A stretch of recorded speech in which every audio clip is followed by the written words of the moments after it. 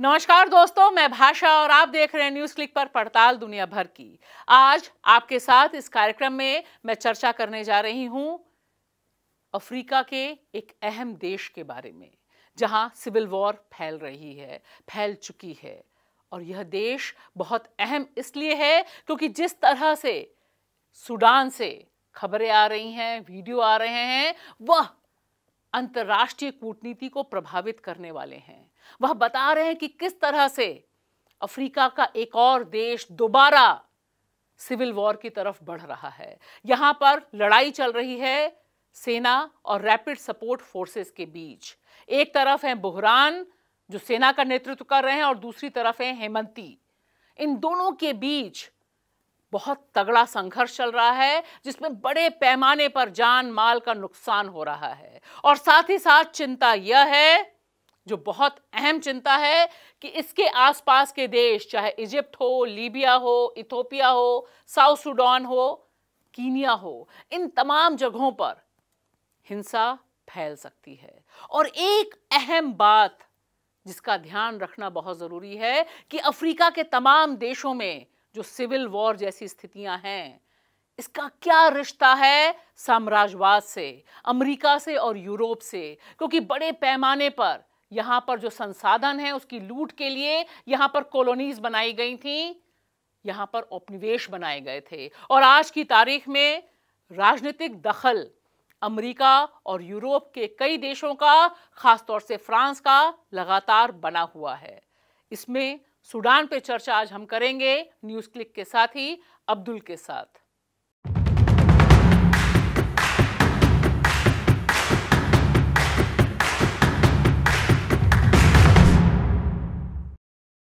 अब्दुल, आज हम बात करेंगे अफ्रीका महाद्वीप के अहम देश सूडान के बारे में, जहाँ से जो खबरें आ रही हैं वो विचलित करने वाली हैं। बड़ा भीषण संघर्ष चल रहा है यहाँ पर। दो जो शक्ति पुंज हैं, उनके बीच टकराव है। करीब 180 लोग मारे जा चुके हैं 2000 करीब हताहत हैं। ये बताइए दर्शकों को कि क्या चल रहा है सूडान में? पिछले कुछ दिनों से सूडान में जो हो रहा है, वो बेसिकली एक पैरामिलिट्री फोर्स है, एक अर्धसैनिक बल है। जिसको हम रैपिड सपोर्ट फोर्स कहते हैं। और सूडान की जो आर्मी है उन दोनों के बीच में एक टकराव है जो बहुत सारे मतभेदों को का, के कारण है टकराव। और वो उसके कारण क्या है दोनों ही आर्म्ड फोर्सेस हैं और दोनों का ही देश के अलग अलग हिस्सों में प्रभाव है। दोनों ही पिछले पिछले कुछ वर्षों से एक साथ देश की सत्ता चला रहे थे। 2019 से तकरीबन ये हाँ। सत्ता में है। 2021 से तो बिल्कुल ही इन्हीं के पास ये जो दोनों हैं इनके पास बिल्कुल, सत्ता बिल्कुल, है। बिल्कुल। मैं चाहूँगी कि दर्शक ये भी देखें। हाँ तो आप देखें जैसे जनरल बुरहान जो आर्मी के चीफ हैं और जनरल हिमती जो आरएसएफ के चीफ हैं इन दोनों इन दोनों की मिलीजुली एक ये जो जुंटा मिलिट्री जुंटा जो सैन्य बल जो सरकार चला रही है इन दोनों साथ में थे। लेकिन पिछले कुछ दिनों में जो एक पीस निगोशिएशन चल रहा है एक वार्ता चल रही है कि कैसे मिलिट्री से सत्ता का ट्रांसफ़र कर दिया जाए नागरिक सत्ता के लिए। उस उसमें इन दोनों के बीच में मनमुटाव हुआ और इस कारण से दोनों के फोर्सेस जो इनके जो लॉयल फोर्सेस हैं वो एक एक तरीके से आपस में लड़ाई कर रहे हैं कि कौन सूडान की सत्ता पे कंट्रोल करेगा और ये डिसाइड करेगा, ये निर्णय करेगा कि सूडान का भविष्य क्या हो। हाँ और एक चीज़ मैं और चाहूँगी कि जिस तरह के वीडियोस आ रहे हैं, जो बता रहे हैं कि बड़े पैमाने पर जो यहाँ पर सूडान की जो राजधानी है, वहाँ पर जो शक्ति का सेंटर्स हैं, उनको घेरेबंदी बहुत तगड़ी है। और हमने ये भी देखा कि आरएसएफ के जो चीफ हैं वो लगातार अपील कर रहे हैं दुनिया से और बाकी लोगों से कि वो हस्तक्षेप करें और उन्होंने बताया कि बुहरान जो है इस्लामिस्ट फोर्स हैं हम्म। तो ऐसा लग रहा है कि ये जो दोनों शक्ति केंद्र हैं ये अलग अलग ढंग से इस समय देश को खींच रहे हैं नहीं ये एक तरीके से आप कह सकते हैं कि एक मनूवर होता है दुनिया में अपना एक इमेज बनाने का अपनी लड़ाई को जस्टिफाई करने का उसको एक वैधता देने का। तो जो हिम्मती जो स्टेटमेंट दे रहे हैं बार बार कि बुरहान जो है इस्लामिस्ट आतंकवादियों के समर्थक हैं और इसीलिए दुनिया को चाहिए कि हिम्मती की मदद करें ये आ, हम कह सकते हैं कि ये एक उनका एक स्ट्रेटजी है उनकी एक रणनीति है कैसे हम बुरहान की सूडान की आर्मी को डिलिजिटमाइज करें और अपनी जो सत्ता है उसको स्थापित करें। जब हम इस सूडान में क्या हो रहा है उसको देख रहे हैं तो हमें इन सब बातों का ध्यान रखना चाहिए कि जो स्टेटमेंट दिए जा रहे हैं समय समय पर हिम्मती के द्वारा उन स्टेटमेंट्स का कोई फेस वैल्यू नहीं है उसका कोई इंपॉर्टेंस उतना नहीं है वो पर हाँ अगर आपने जो जैसे कहा खारतूम में जो चीज़ें हो रही हैं सूडान की राजधानी में जो रिपब्लिकन पैलेस है उसके आसपास लड़ाई चल रही है सूडान का जो अंतर्राष्ट्रीय हवाई अड्डा है उसके ऊपर बंद है उसके ऊपर लड़ाई चल रही है सूडान की सेना इनफैक्ट उस पर बमबारी भी कर रही है एयरफोर्स के इस्तेमाल से। और देश के बाकी हिस्सों में भी जहाँ पे भी आरएसएफ का कुछ कंट्रोल है जैसे आपने जो पिछले मैप में हमने देखा कि आ, खास करके जो सुडान का जो पूर्वी हिस्सा ये मैप हाँ, जो है बहुत अहम है। बिल्कुल। अब्दुल मैं चाहूँगी कि हमारे दर्शक ये नक्शा भी देखें। नक्शा बहुत खास है। इसमें हमने कोशिश की है उन इलाकों को चिन्हित करने की जहाँ लड़ाई बहुत तगड़ी है बहुत आ, बहुत संघर्ष चल रहा है और खास तौर से उसके केंद्र में यह इलाका है खारतूम हम्म, जो कि सूडान की राजधानी है। हम्म, हम्म। इसके अलावा भी बाकी जगहों पर संघर्ष चल रहा है। दोनों ताकतें दोनों ताकतों के पास हथियार हैं और जो वीडियो हमने दिखाया अभी दर्शकों को उससे लग रहा है कि लड़ाई बहुत तगड़ी है। बिल्कुल। खारतूम में लड़ाई तगड़ी इसलिए है क्योंकि वो राजधानी है और दोनों चाहते हैं कि उस पर उसका नियंत्रण हो। नियंत्रण की जो लड़ाई है रिपब्लिकन पैलेस है, जहाँ पे जो सत्ता का केंद्र है राजधानी में, वहाँ पे मुख्य लड़ाई चल रही है। इसके अलावा जो लड़ाई है, वो खारतूम अंतर्राष्ट्रीय हवाई अड्डे के आसपास चल रही है। सूडान की सेना ने वहाँ पे बमबारी भी की है। इसके अलावा, खारतूम के अलावा जो लड़ाई चल रही है, वो मुख्यतः देश के पश्चिमी हिस्से में हो रही है, जो, जिसको हम आमतौर पर दारफूर का रीजन कहते हैं। वो दारफूर का रीजन इसलिए महत्वपूर्ण है। जैसा आपने कहा कि ये हिस्सा जो है खास करके ये हिस्सा इसलिए महत्वपूर्ण है क्योंकि इस हिस्से में ही आरएसएफ जो है वो आ, उसका उसका जन्म हुआ आरएसएस की स्थापना हुई। जब दो हज़ार सात आठ नौ के समय से जंजाविद जो एक मिलिशिया थी जिसके खिलाफ सूडान की सेना लड़ाई कर रही थी वो जो उसको कहा जाता था कि वो अलगाववादी ताकत है। वो सूडान में एक तरीके से ट्राइबल सूडान को ट्राइबल के हिसाब से जनजातीय आधार पर बांटना चाहती है तो उसको लेकर जो लड़ाई चल रही थी उसमें जो सूडान की सेना के पक्ष में जो लोग लड़ रहे थे उन्हीं के एक समावेश से हाँ, उन्हीं के मिलने से एक आ, आ, ये आरएसएफ की स्थापना हुई। तो आरएसएफ का जो जो कई एक समर्थन है जो समर्थन जो ज़्यादा बड़ा है वो देश के पश्चिमी हिस्से में है और इसीलिए वहाँ भी लड़ाइयाँ चल रही हैं। काफ़ी तगड़ी लड़ाइयाँ हैं बिल्कुल। लेकिन एक बात जो बहुत साफ़ दिखाई दे रही है कि सूडान में जिस तरह से अंतर्राष्ट्रीय ताकतें और ख़ास तौर से अमेरिका के हित हैं क्योंकि हमें ये भी दर्शकों को बताना बहुत ज़रूरी है कि सूडान का विभाजन हुआ साउथ सूडान अलग हम्म। हुआ वहाँ पे जो एक लीडर थे उनको हटाया गया और उसके बाद से 2023 तक मतलब 2021 में ये सत्ता आई 2019 में हटाया गया 2021 में फिर इन दोनों शक्तियों ने हाथ मिलाया लेकिन शांति नहीं आई। लगातार संघर्ष बना हुआ है। और ऐसा लग रहा है कि ये जो संघर्ष है इस संघर्ष के भी कुछ अंतर्राष्ट्रीय तार ज़रूर जुड़े हुए हैं बिल्कुल आ, अगर आप देखें तो जितने भी आरएसएफ के बारे में कहा जाता है कि आरएसएफ हिम्मती जो है यूएई के बहुत क्लोज हैं उनसे उनका अच्छा संबंध है और अभी की जो लड़ाई है उसमें उनका यूएई की तरफ़ से समर्थन भी है। संयुक्त राष्ट्र अमीरात की तरफ़ से। हाँ अमीरात की दुबई जिसको हम आमतौर पे हाँ। आम जनता जिसको समझती है दुबई के हिसाब से तो वो एक उसका समर्थन है। इसके अलावा जो बुरहान है बुरहान को ऑफ़ कोर्स यूएस के अलावा जितने भी रीजनल जो क्षेत्रीय ताकतें हैं खास करके जो सबसे महत्वपूर्ण क्षेत्रीय ताकत अभी है इजिप्ट मिस्र उसका समर्थन प्राप्त है। तो ये ये जो लड़ाई चल जी, रही जी, है ऑफ़ कोर्स हम्म। उसका एक अंतर्राष्ट्रीय प्रारूप भी है उसका एक अंतर्राष्ट्रीय कॉन्टेक्स्ट भी है। और अगर आप देखेंगे कि कैसे कुछ जो क्षेत्र के अफ्रीका के कुछ जो देश हैं जो सीधे तौर पे इससे प्रभावित हुए हैं होने हो सकते हैं। उनको लगता है कि होने की संभावना है। जैसे सूडान है केनिया है जिब, जिबोती है ये लोग हम्म। इन्होंने बहुत ही छोटा सा है मैं चाहूँगी कि ये जूम होके दिखाया जा सके कि ये देश भी कह रहा है कि मैं मदद करने के लिए तैयार हूँ कीनिया भी कह रहा है इजिप्ट ने पहले ही कहा है। तो ये सारे देश ऐसे हैं जो कह रहे हैं जिनके लिए सूडान में हिंसा होना दिक्कत है। और यूएई का समर्थन यहाँ पर है ही। तो ये इन इन देशों ने कोशिश की है, अभी पहल है, अभी ये पहल कितना सफल होगा हम नहीं कह सकते, कि इन दोनों के बीच में, यानी बुरहान और हिम्मती के बीच में जो लड़ाई चल रही है, उसको रोका जाए। क्योंकि अगर ये लड़ाई कंटिन्यू रहेगी, सूडान का जो महत्व है अफ्रीका में सब सहारन अफ्रीका में, वो बहुत इम्पोर्ट बहुत ज़्यादा महत्व है उसमें, और अगर ये लड़ाई चलती रही तो इसका क्षेत्रीय तौर पर इसका विस्तार होने की संभावना है। तो उसको रोकने के लिए इस आशंका को हाँ, खत्म करने के लिए ताकि हिंसा और इलाकों में ना, ना बढ़े क्योंकि तो लीबिया अब है नहीं। हम सब जानते हैं कि गद्दाफी को हटाने के बाद लीबिया अपने आप में दूसरे ढंग के संघर्षों में घिरा हुआ है बुरी तरह से। हाँ, पिछले 10-12 सालों से वहाँ लड़ाई चल रही है। और अभी कोई एक केंद्रीय सत्ता नहीं है।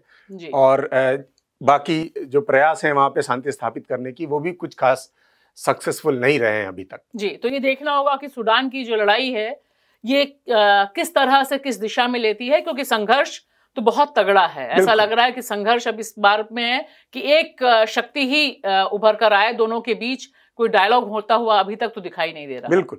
आ, जब हम सूडान के बारे में ये सारी चीज़ें कह रहे हैं तो हमें ये समझने की ज़रूरत है कि आखिर क्या हुआ कि हिम्मती और बुरहान के बीच में जो पिछले चार सालों से कम से कम साथ में मिलकर देश की सत्ता चला रहे थे जब से उमर अल बशीर को हटाया इन्होंने साथ मिलकर हटाया और हाँ। साथ मिलकर सत्ता चला रहे थे आखिर क्या हुआ कि दोनों आपस में लड़ने लगे? तो उसको मेरे हिसाब से एक वो ज़रूरी चीज़ है जो हमें हाँ दर्शकों को बताना चाहिए। और वो ये है कि बुरहान और हिम्मती आरएसएफ जो है एक पैरामिलिट्री एक अर्धसैनिक बल है और सूडान की एक सेना है। और वहाँ पे दुनिया भर के देशों के प्रेशर में दबाव में एक वार्ता चल रही है जिसमें ये कोशिश की जा रही है कि सेना से सत्ता का ट्रांसफ़र करके सिविलियन के नागरिकों के हाथ में एक एक किसी भी तरह का एक लोकतंत्र की स्थापना किया जाए। ये एक निगोशिएशन चल रहा है। जब तो उसमें क्या है कि सेना चाह रही है सूडान की सेना चाह रही है बुरहान जिसको लीड कर रहे हैं और वो देश के डिफ़ॉल्ट डिफेक्टो प्रेसिडेंट भी हैं। तो वो चाह रहे हैं कि आरएसएफ जो है वो उसको जितनी जल्दी से जल्दी हो सके उसको सेना में शामिल कर लिया जाए हम्म। और उसका एक जो स्वतंत्र अस्तित्व है एक अलग से जो उसका जो प्रभाव अस्तित्व है उसको खत्म कर दिया जाए और तकरीबन 11 अप्रैल को कुछ इस दिशा में बिल्कुल प्रगति हाँ थी। जो वार्ता का जो डेडलाइन तय किया गया था वो किया गया था कि 11 अप्रैल तक ये सारी चीज़ें तय कर ली जाएँगी और उसके बाद से सत्ता का हस्तांतरण जो है वो नागरिकों के हाथ में सौंप दिया जाएगा लेकिन वो उसमें जो जो बेसिक जो एक मुख्य चीज़ थी वो ये थी कि आरएसएफ का डिजोल्यूशन जो होगा वो आरएसएस को आर्मी में शामिल कैसे किया जाएगा हम्म। और कितनी जल्दी किया जाएगा हिम्मती चाहते थे कि उनको कम से कम दस साल का समय दिया जाए आ, हम्म। इसके पीछे का कारण क्या है इसके पीछे कारण ये है कि आरएसएफ जो है एक बहुत ही मज़बूत अर्धसेना बल है। उमर अल बशीर का समर्थन से बना और बहुत शुरू किया था। उन्होंने शुरू किया और वो बहुत दिनों तक एक तरीके से उनका पर्सनल गार्ड के तौर पे वो काम करते रहे। उनके बिहाप में देश के पश्चिमी हिस्सों में लड़ाइयाँ लड़ी। इसके ऊपर बहुत सारे एट्रोसिटीज़ करने का आरोप भी लगा। ह्यूमन राइट वायलेशन का आरोप भी लगा। तो ये एक बहुत ही बड़े एक कह सकते हैं एक माफिया के तौर पे उभर कर आई है सूडान की राजनीति में आरएसएफ हम्म। और इन इनका बहुत ही आर्थिक हित है तो ये चाहते हैं हिम्मती और आरएसएफ के जो बाकी लीडर हैं वो ये चाहते हैं कि उनका जो आर्थिक हित है उसको संरक्षित रखा जाए और अगर वो आर्मी में मिला लिया जाएगा जल्दी से हम्म। जल्दी तो उनका तो आर्थिक हित कॉम्प्रोमाइज हाँ, और फिर नेतृत्व भी आ, उनका चला जाएगा। बिल्कुल। अभी तो वो पूरा नियंत्रण है। हाँ। उनका सूडान के बहुत बड़े हिस्से पे उनका नियंत्रण बिल्कुल है। जैसे ये एक तरीके से कहीं एक क्षेत्रीय चरित्र है। इजिप्ट में भी मिस्र में भी जो आर्मी है उसका बहुत ही इंपॉर्टेंट इकोनॉमिक आर्थिक एक तरीके से साम्राज्य है।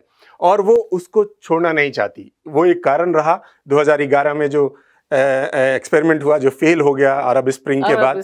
हाँ तो उ, उसके पीछे भी एक खास कारण वही रहा। वही चीज़ सूडान में भी हो रही है कि अगर नागरिकों के हाथ में सत्ता हस्तांतरित कर दी जाए तो उसके बाद जो पैरामिलिट्री फोर्सेस का आर्थिक हित है उसका क्या होगा? तो और जब तक वो रिजॉल्व नहीं होगा तब तक हमारे हिसाब से वो जो लड़ाई है चाहते भी नहीं हाँ, कि शांति हो और उनका आधिपत्य जाए क्योंकि यहाँ उनका आधिपत्य बना हुआ है। बिल्कुल उनके हिसाब से शांति का मतलब ही है कि उनका आधिपत्य बना रहे और खास करके उनके जो आर्थिक हित हैं उसको संरक्षित किया जाए। और जब तक ये चीज़ नहीं होगा तब तक इस तरह की लड़ाइयाँ अगर अगर मान लीजिए आज कुछ दिनों के लिए एक सीज फायर लागू भी हो जाए वो आगे भी ऐसी संभावना बनी रहेगी कि ऐसी लड़ाइयाँ होती रहे। जी। एक आखिरी चीज़ मुझे जो लगता है दर्शकों तक पहुंचनी चाहिए कि हम जिस महाद्वीप की बात कर रहे हैं, अफ्रीका की। अफ्रीका की खासियत यह है कि हम और आप जो भारत में हैं और तमाम लोग जो तीसरी दुनिया में हैं, वो सिर्फ़ जानते हैं कि यहाँ बहुत लड़ाई चलती है, बहुत ही भीषण खूनी संघर्ष होता है, तमाम जो क्लेन्स हैं वो टकराती हैं, लेकिन इसके पीछे की जो कहानी है, वह यह बहुत कम चर्चा में आती है कि कितना रिसोर्स रिच इलाका है ये। यहाँ पर इतनी अकूत संपदा है प्राकृतिक संपदा जिसका दोहन करने के लिए अमेरिका और फ्रांस और तमाम जो इंपीरियल फोर्सेस हैं वो रही और इनके पीछे जिस युद्ध की हम बात कर रहे हैं मुझे लगता है कि आप भी इस पे बताएँ। अभी हमने चर्चा की सूडान के बारे में। हम इजिप्ट को देख ही रहे हैं। लीबिया में क्या हुआ ये देख रहे हैं। और आ, मुझे लगता है कि कई देश हैं जिनको हम मार्क कर सकते हैं। यहाँ पर भी वही स्थिति है। सोमालिया में है सोमालिया में है हम्म। कीनिया में है युगांडा की खबरें हमारे सामने आती रहती हैं तो ये जो संघर्ष है क्योंकि लीबिया तो दुनिया ने देखा हम्म। कि किस तरह से गद्दाफी जो कि बचा के चल रहे थे लीबिया को सबसे अहम देश पूरे इस महाद्वीप का है वहाँ पर उनको गिरा के पूरी हिंसा में ढकेल दिया गया अब हम देख रहे हैं कि तमाम इलाके क्योंकि जो सुडान टूटा हम्म। दक्षिण सुडान अलग बना साउथ सुडान इसमें भी बहुत बड़े अंतर्राष्ट्रीय हित थे। बिल्कुल बिल्कुल। सुडान आगे जैसा आपने कहा कि ये पूरा अफ्रीका महाद्वीप जो है वो संसाधनों से भरा हुआ है।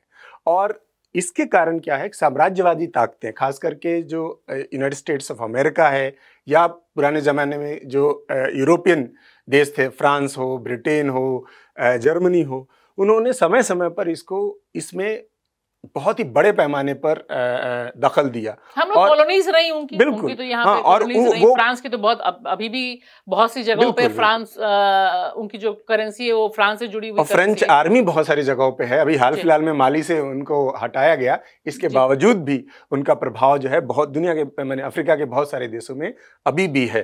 तो इसके पीछे जो मुख्य कारण यही था कि यहाँ पे संसाधन है और उन संसाधनों को उनके विकास के लिए उन्होंने सोचा कि ज़रूरी है और वो कैसे इसको गारंटी कर पाएँगे। तो उन इसके लिए उन्होंने इन देशों में जहाँ भी लगा कि उनका एक ऐसा कोई सेक्शन है जिसको वो प्रभावित कर सकते हैं जिनको वो अपने पक्ष में कर सकते हैं चाहे वो पैसे के थ्रू हो चाहे वो डरा के हो या किसी और तरीके से हो उन्होंने वैसा किया। और इसके कारण क्या हुआ कि इन सारे ही देशों में वो सेक्शन जो इस तरह के साम्राज्यवादी दखल का विरोध करता रहा उन दोनों के बीच में लड़ाई हुई।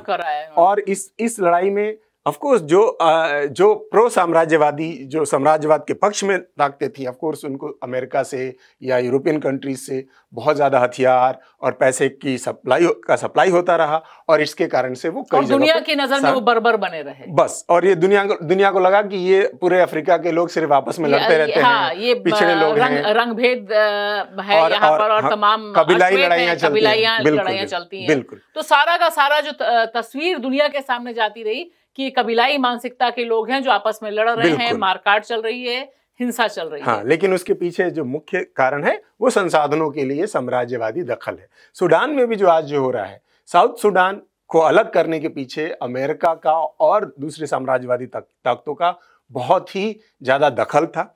और उसके कारण से क्या हुआ एक सेक्शन जो है सूडान में वो निकल के आया उभर के आया जो इस तरह के साम्राज्यवादी दखल को गलत मानने लगा और उसके खिलाफ लड़ाई करने लगा। तो इसके इस लड़ाई को हम जब दुनिया के परिप्रेक्ष्य में देखेंगे हम्म। तो लगेगा कि सूडान जैसे आपने कहा कि ये कबीलाई लोग हैं आपस में कभी शांति से नहीं रह सकते हमेशा एक दूसरे के साथ लड़ते रहते हैं। और उसको उस लड़ाई को रोकने के लिए अमेरिका को या दूसरी साम्राज्यवादी तख्तियों को बार बार दखल करने की ज़रूरत है। तो एक तरीके से दखल की राजनीति को वैधता प्रदान कर भी प्रदान किया इस तरीके की लूटने। जो लूटने और इस तरह के कॉन्फ्लिक्ट ने जो साम्राज्यवादी शक्तियों ने समय समय पर बनाया। जी बहुत बहुत शुक्रिया। दोस्तों एक बात बिल्कुल साफ़ है कि अंतर्राष्ट्रीय कूटनीति में एक देश और खासतौर से यहाँ जिसकी हमने चर्चा की सूडान। सूडान में जिस तरह से बशीर को हटाया गया और उसके बाद से अब तक 2021 एक अहम पड़ाव था जब यह दोनों दल एक साथ आए और 2023 में दोबारा सरकार भंग होने के कगार पर है और सत्ता का संघर्ष बहुत तीखा, तेज हो गया है। सवाल बहुत सीधा सा है कि इन तमाम देशों को आपस में भिड़ाना, लड़ाना, हथियार मुहैया कराना और लगातार दुनिया के सामने यह तस्वीर पेश करना कि ये तमाम देश अपने आप अपना शासन नहीं कर सकते, यह किसे फ़ायदा पहुंचाता है? निश्चित तौर पर यह उन ताकतों को फ़ायदा पहुंचाता है जो अफ्रीका सहित तमाम तीसरी दुनिया के देशों पर अपना शासन सीधा या परोक्ष स्थापित करना चाहते हैं। शुक्रिया।